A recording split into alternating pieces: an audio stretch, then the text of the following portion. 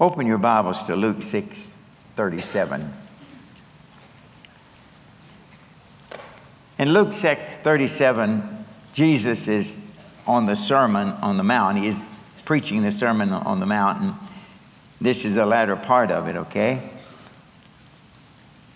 And in verse 37, he mentions some things that they are not to do and some things that they are to do, and then the results of that. In other words, here's a cause, here's an effect.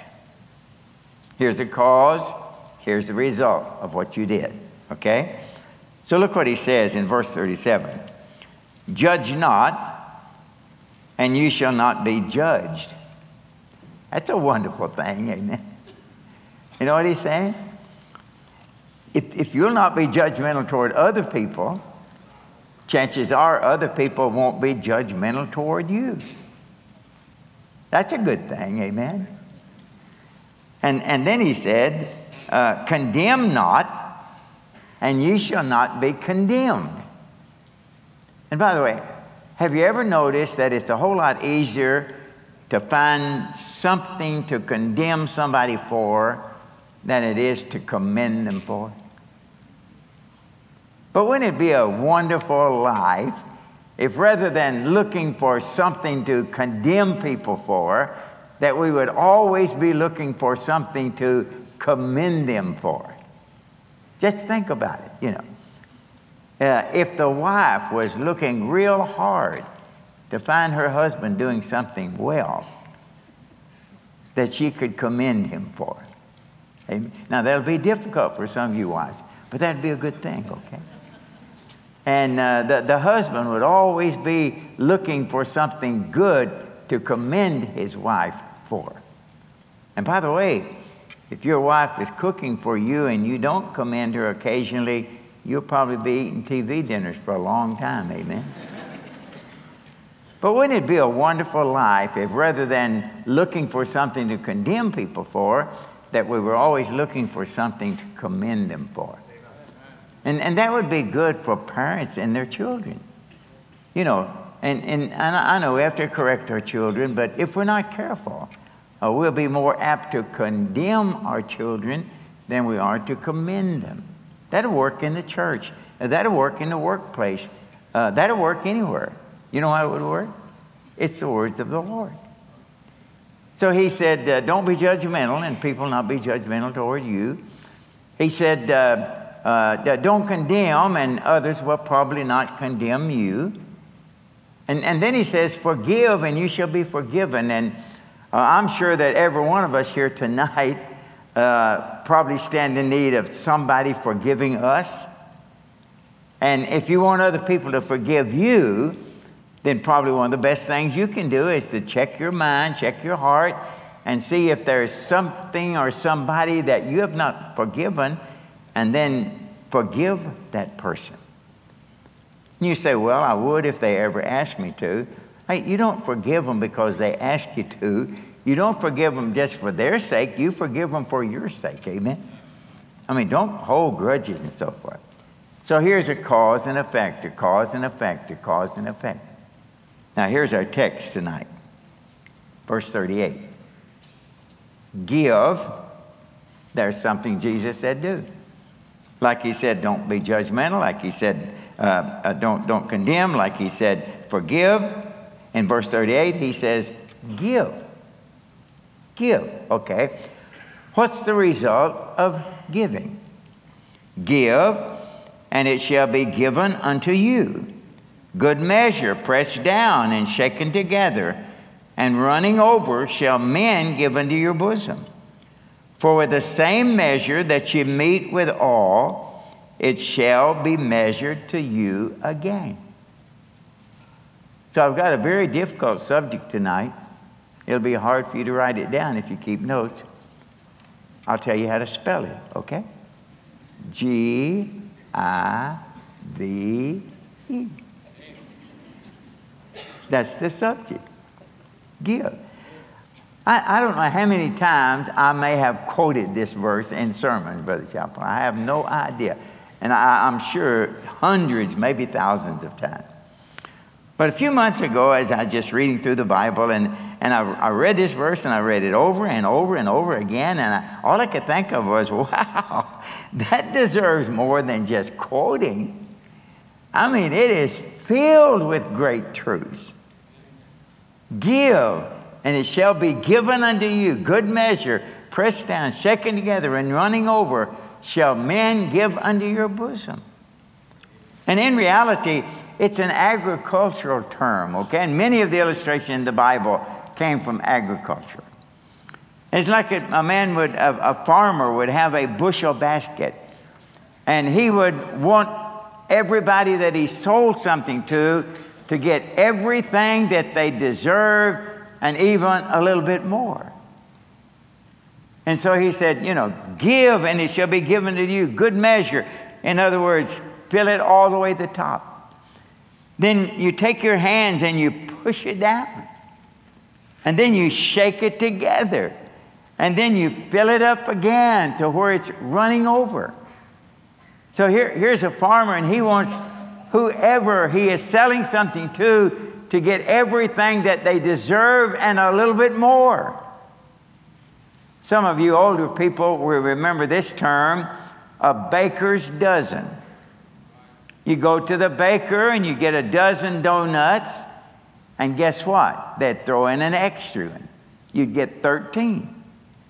That was what they called a baker's dozen. I think now when you go to the bakery and get a dozen donuts, they probably put in 11, okay? It's a different generation, okay?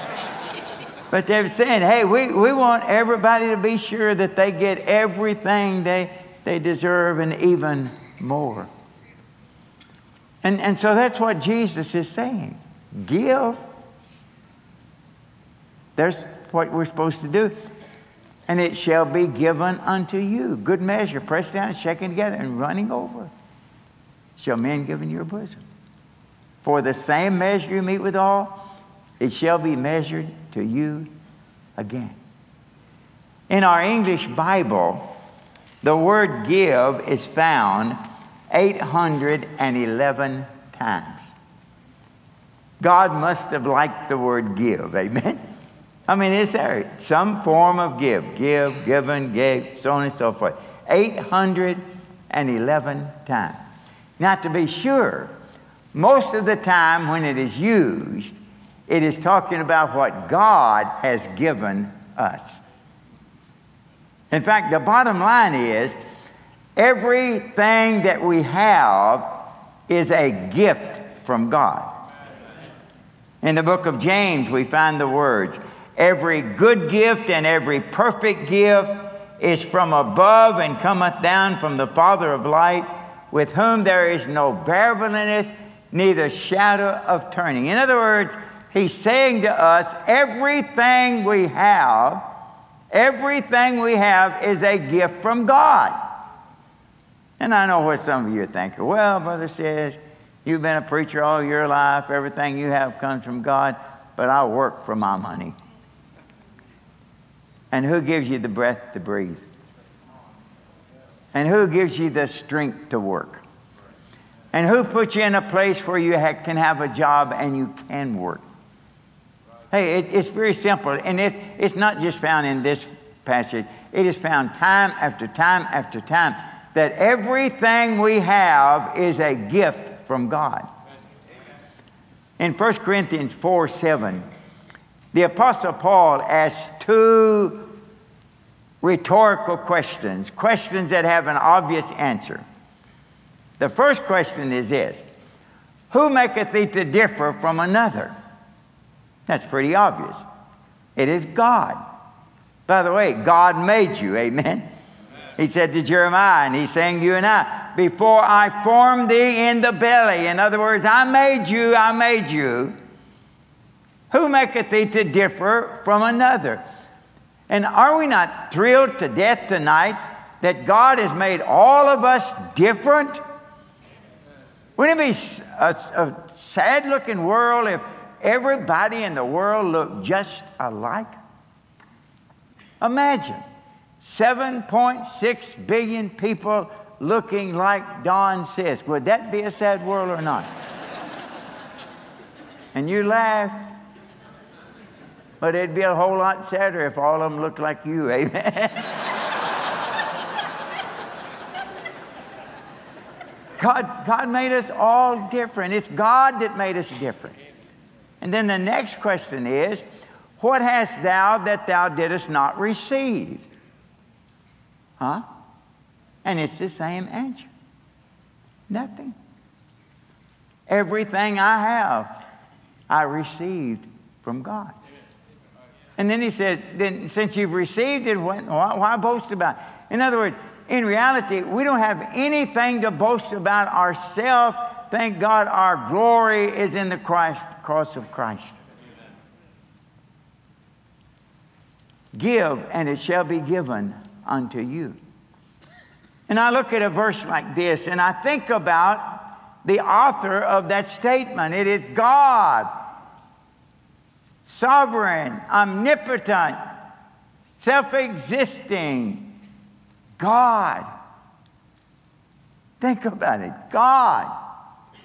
And the Bible tells us in Hebrews 11 3, by faith we understand that the worlds were formed by the Word of God.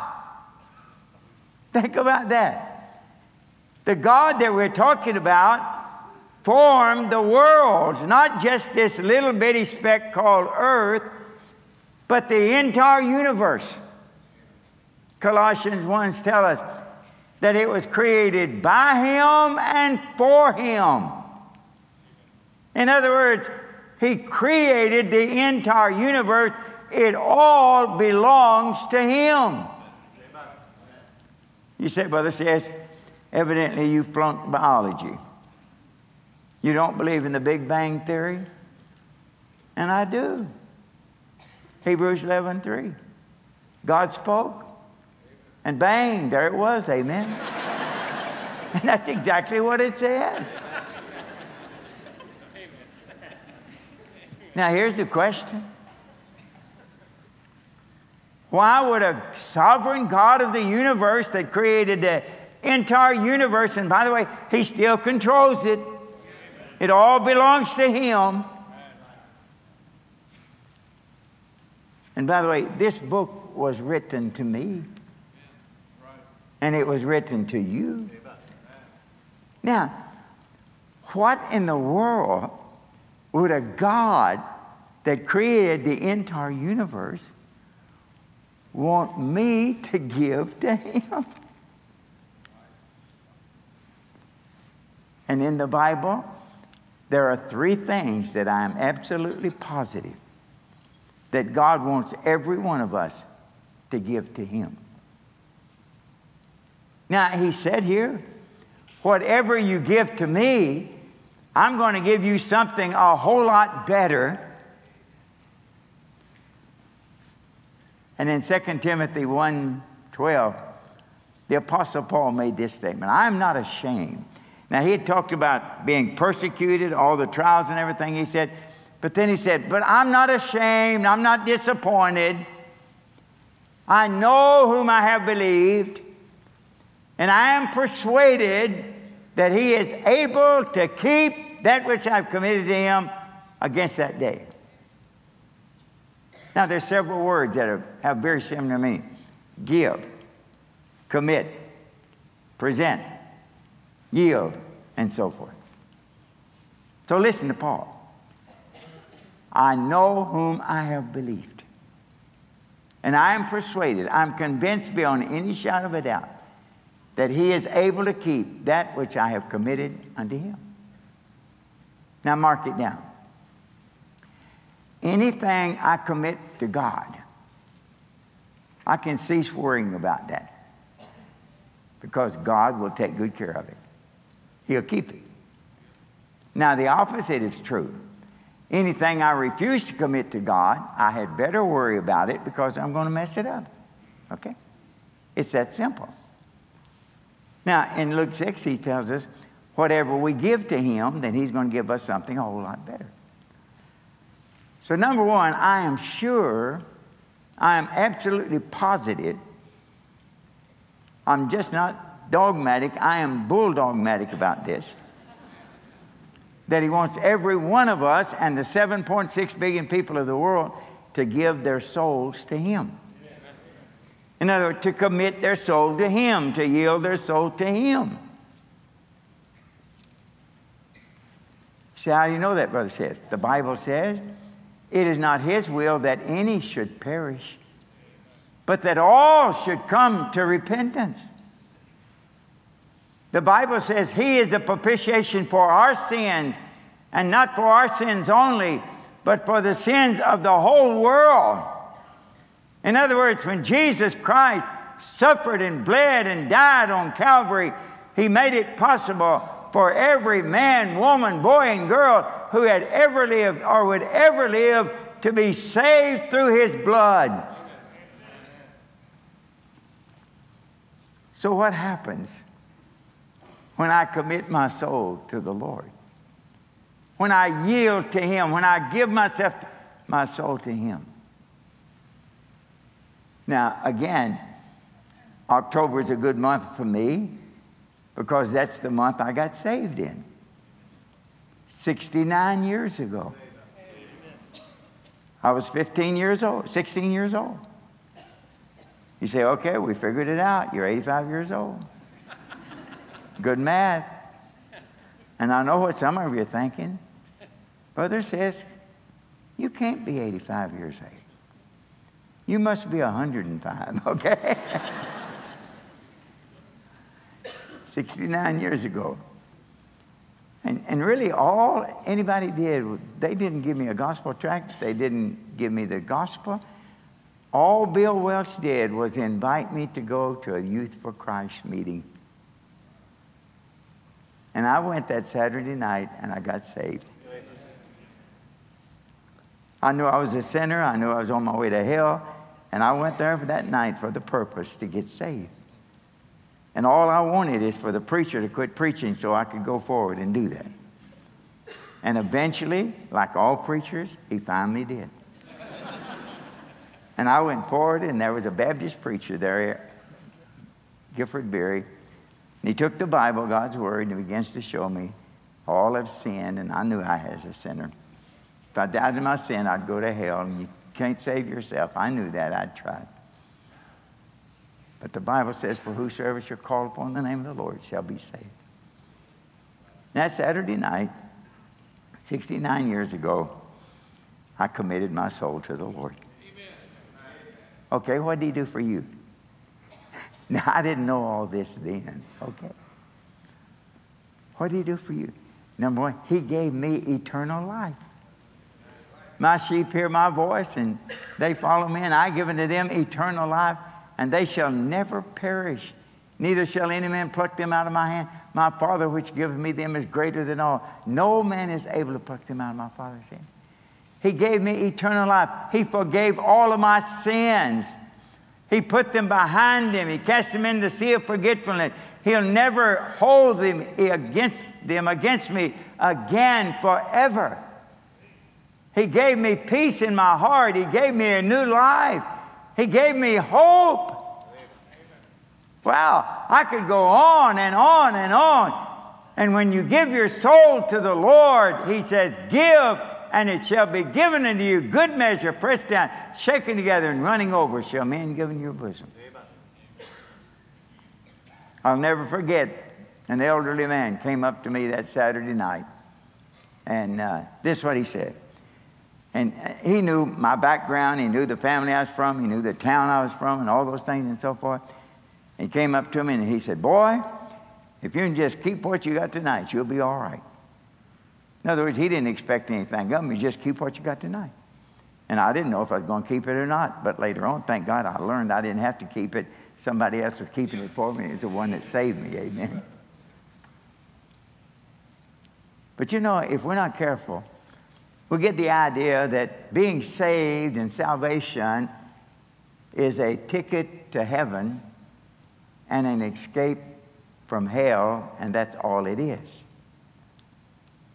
And thank God it is a ticket to heaven and it is an escape from hell. Amen. Because there is therefore now no condemnation to them who are in Christ Jesus. Okay? So it's that, but that's not all of it. The first verse I ever memorized in the Bible was Ephesians 2 8 and 9. After I got saved, I went forward in a Baptist church to join the church to be baptized. And Brother Ratliff took me down to a little room and he wanted to explain to me again about salvation to be sure I was saved. And we went through that again and so forth. And then he gave me a little New Testament and he underlined Ephesians 2 8 and 9. And he said, Now, Don, when you come tomorrow night, I want you to have memorized those two verses. And I did. I went home that night, I read them over and over and over again. For by grace are you saved through faith. That not of yourself, it's a gift of God, not of works, lest any man should boast. And uh, so the next night when I went to church, Brother Ratliff said, Okay, Don, can you quote the verses? And I said, I sure can. And I did. And they've always meant so much to me. You know, salvation, it's all of Him, amen. For by grace are you saved through faith. We didn't deserve it, we didn't earn it, we didn't work for it. All we did was receive it. But you know, if you read your Bible the way it was written, not by verses, but by paragraphs, Ephesians 2 8 9 is not the end of the paragraph.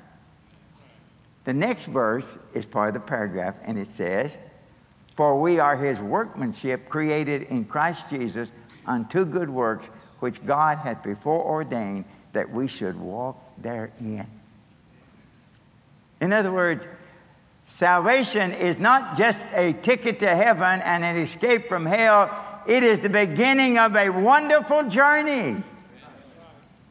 And so I can be sure that God not only wants me to give Him myself, my soul, but He wants me to give Him all of me.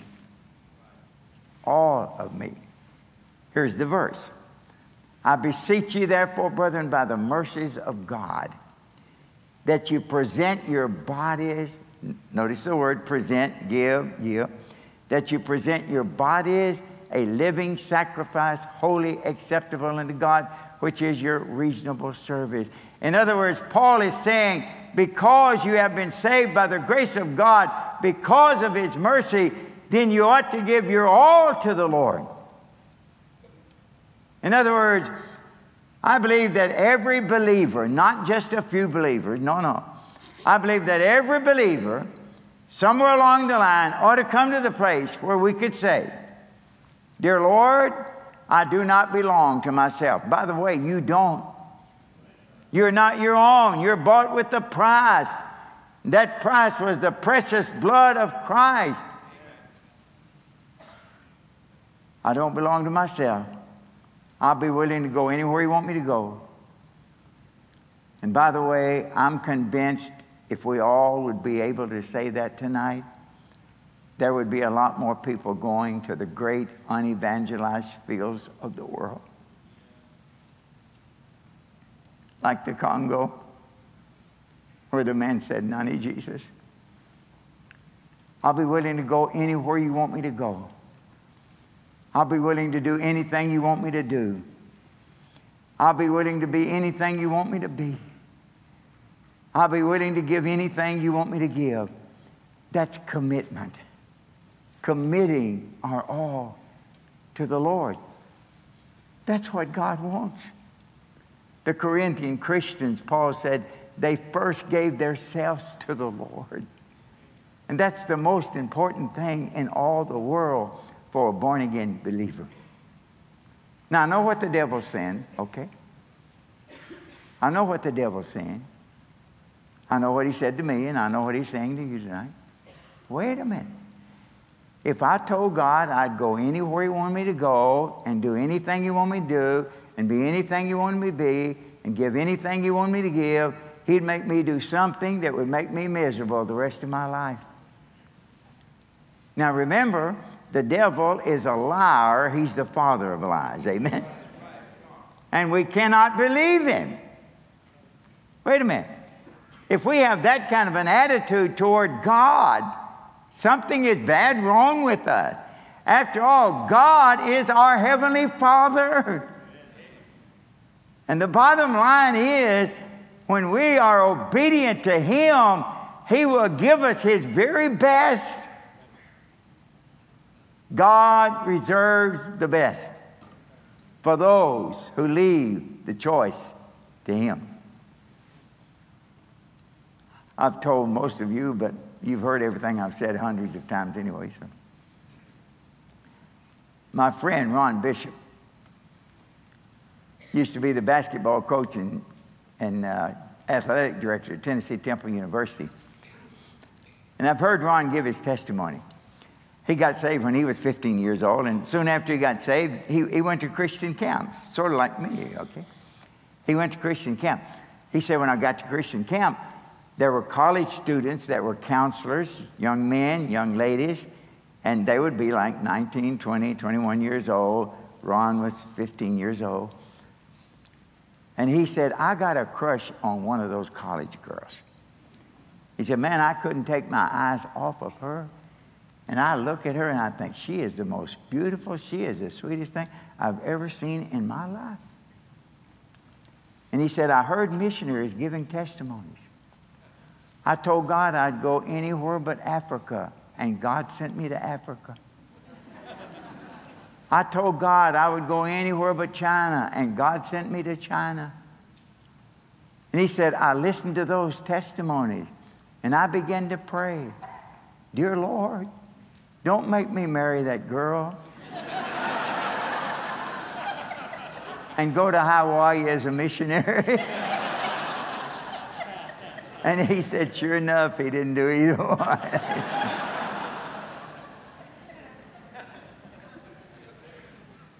I've been to 80 different countries around the world. I've seen missionaries. And I, have often thought, God knows exactly who to send where. I mean, I, I, think of the Drydens down in Haiti. They've been there something like 45 years. You couldn't blow them out of Haiti with a stick of dynamite.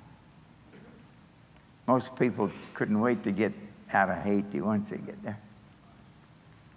I was with Rick and Bark, Be- Becky the other day in the Philippines, and I watched them. You could not get them to leave the Philippines for anything. God knows who to put where. You see, God knows more about you than you know about yourself. And when you commit yourself totally to Him, then He's going to give His very best for you. I can't imagine what my life would have been like if I would have decided when I was a young person, I'm going to take care of Don Sisk rather than saying, I'm going to commit my life to the Lord. It, it's amazing what God does. Give, and it shall be given unto you. Good measure, pressed down, shaken together, and running over shall men give in your bosom. And God's saying to us tonight, hey, whatever you give to me, I'm going to give you something a whole lot better than that. I'm sure God wants me to give him my soul. I'm sure God wants me to give him my self. Now, I don't have to worry about my soul. I know I'm saved, going to heaven. I don't have to worry about Don Sisk. Everybody else does. You know, you ought to slow down. You ought to quit doing this. You ought to quit going there. You know, on and on and on. Uh, Brother Kerry Smith was interviewing me not long ago, Pastor. And he said, Okay, Brother Sisk, what about the future? And I said, Kerry, I don't even buy green bananas. Amen. I don't know about the future.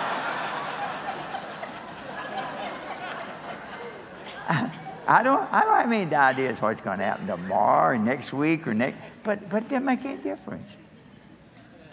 You see, what's important is that tonight I'm where God wants me to be.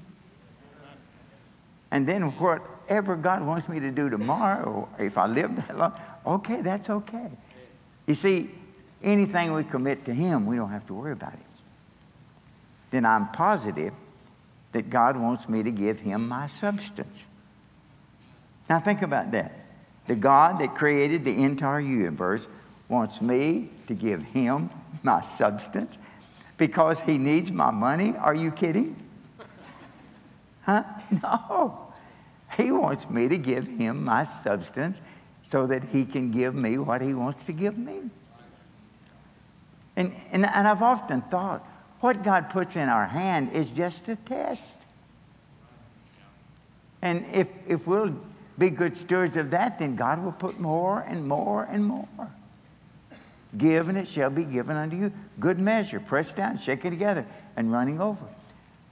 So I am positive that, uh, that God wants me to commit, give, yield at least 10% of everything that He gives me back to Him. Why? Because He needs it? No, no, no. No. He owns the entire universe. But He has a plan.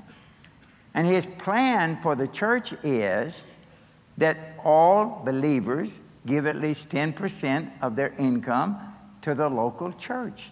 And by the way, that is a wonderful plan. Thank God we don't have to have rummage sales. We don't have to have all the other junk.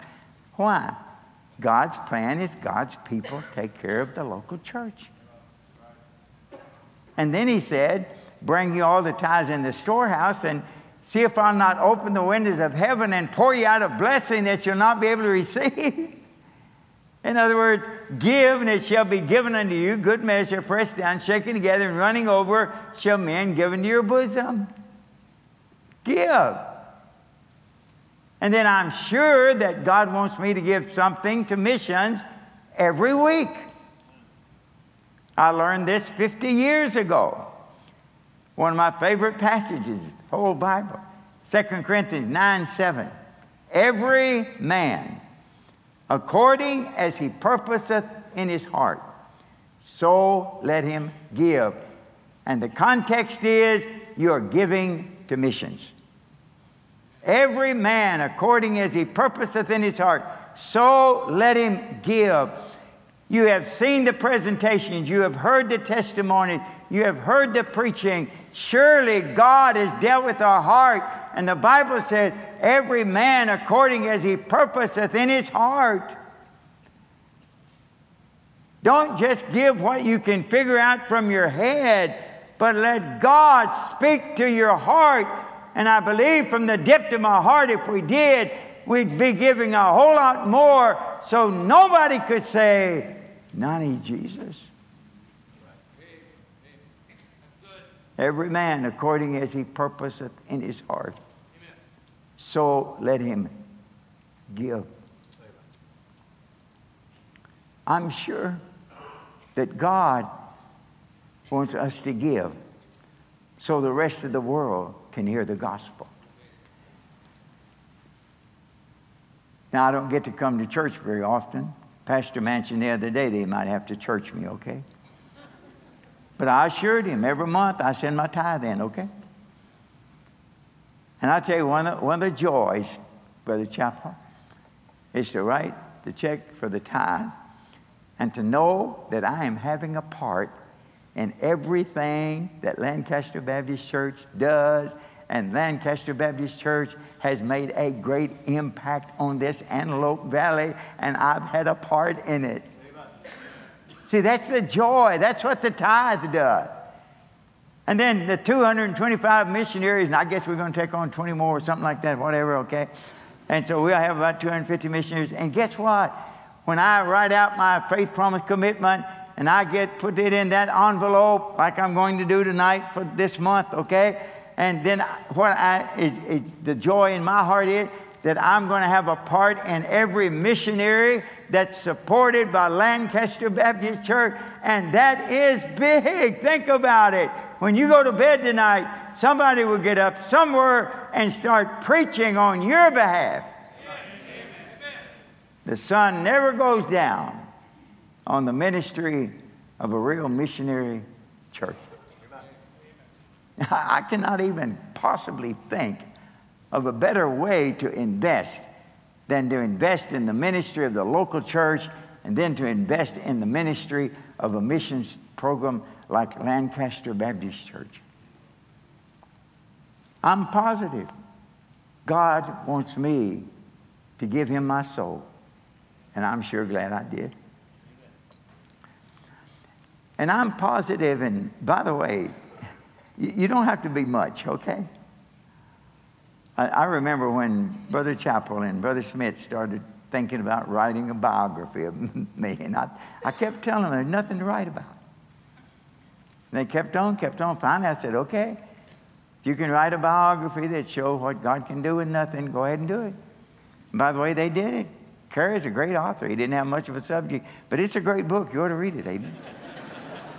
It'll tell you what God can do with nothing. I think of the little boy that just had five barley loaves and two fishes. But what are they amongst so many? All God needs is all you have. All God needs is all you have. So there it is, okay? Give, it shall be given unto you. Good measure.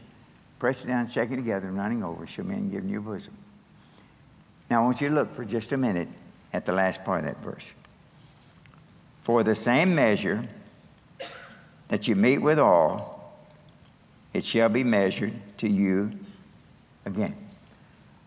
And you know what he's saying? You just determine how much you want. wow. Huh? Yeah. For with the same measure that you meet with all, it shall be measured to you again. You just determine how much you want. Our first Christmas, I'll never forget, 1956, after I began pastoring. And a lady came to Virginia and myself in the Johnson Island Baptist Church down in Kentucky. And she said, Brother Don, I want you and Miss Virginia to go to Jordan Furniture Company. I have an account there. Some of you old people remember before credit cards, we had accounts account at the grocery store, account at the service station, you know, account different places. Okay. She said, I have an account there. And two of our members, Buford and Ruby Day, they work there. And she said, you, you, and, you and Miss Virginia go do it and you buy whatever you want and whatever you need, and that will be my Christmas present for you all. And I said, okay, Ms. Lynn, about how much should we spend? Doesn't make any difference, Brother Don. Just go ahead, buy whatever you need, whatever you want. Well, that was very dangerous. 1956, we were in Bible school. We needed everything we saw. I mean, we had practically nothing, you know. And we looked at bedroom suits, and I thought, man, that would be better than that old lumpy mattress we've got. We looked at living room suits, and I thought that would be better than that couch. We're afraid somebody to sit on it. One of the springs are going to come up and hit somebody. You know. We looked at refrigerators, and I thought that would be better than our ice box. Oh, okay, young people, an ice box is a box you put ice in. And as long as the ice lasts, you've got refrigeration. When the ice is gone, the refrigeration is gone. We had an ice box out on the back porch. You know, we looked at carpet, and I thought, ooh, it would be nice to get out of bed and put your feet on that carpet rather than that cold linoleum floor. And we shopped for about an hour and a half, talked to Buford and Ruby. And when we left Jordan Furniture Company that, that afternoon, we were carrying our purchase. It was a magazine rack about that long. It cost $5.95. It's still over somewhere in Japan. It is a trophy. We've kept it all these years. It is a trophy of my stupidity.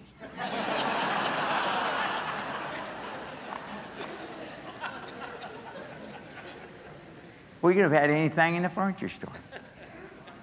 And we settled for a $5.95 magazine rack. And every time I think about that, by the way, that was an embarrassment to Mrs. Lynn.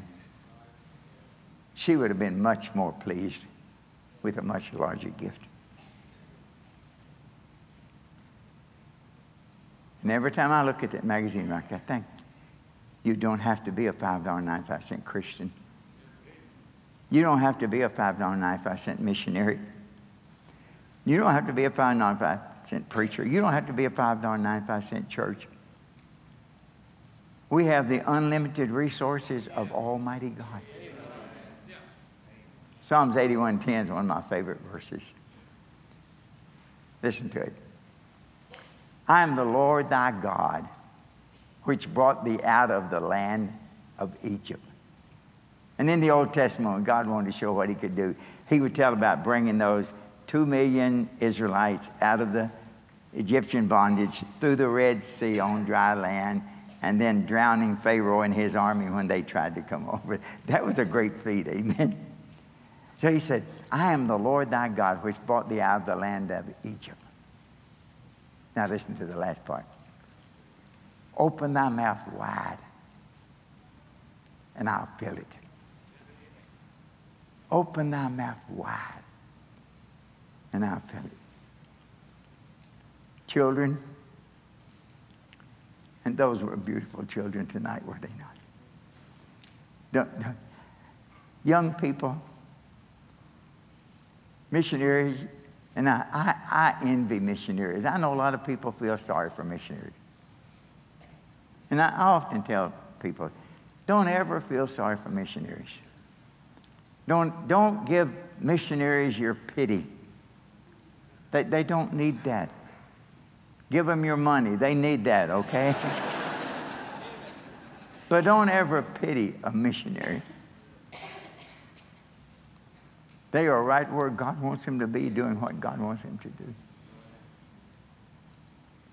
And all those young people, think about it. Don't sell yourself short, children. Teenagers, don't sell yourself short. Young people, don't sell yourself short. Young married couples, don't sell yourself short. Don't shortchange yourself and God. Open thy mouth wide, and I will fill it. So listen to it again.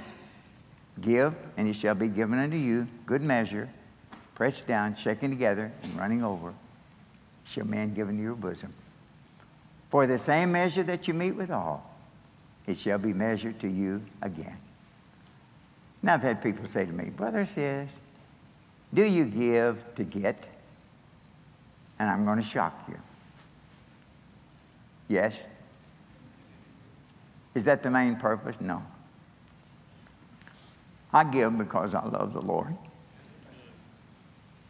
And I think what He's done for me, then anything I could give would be absolutely nothing in comparison to what He's done. But I've read the Bible enough times, and I've experienced it enough time that I know something that when I give, God is going to give much more back to me.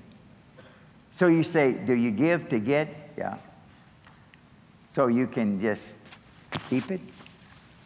No, no. I give to get so I can give more. And in reality, that's the only purpose for money anyway, is to be used for the glory of God. Be sure you've given your soul to the Lord. When you do, you don't have to worry about it. Be sure you've given yourself to the Lord. When you do, you don't have to worry about it. And be sure that God has your substance. Because that money is just a test of what you're going to do with it. And what you do with it will depend on what He can give back to you.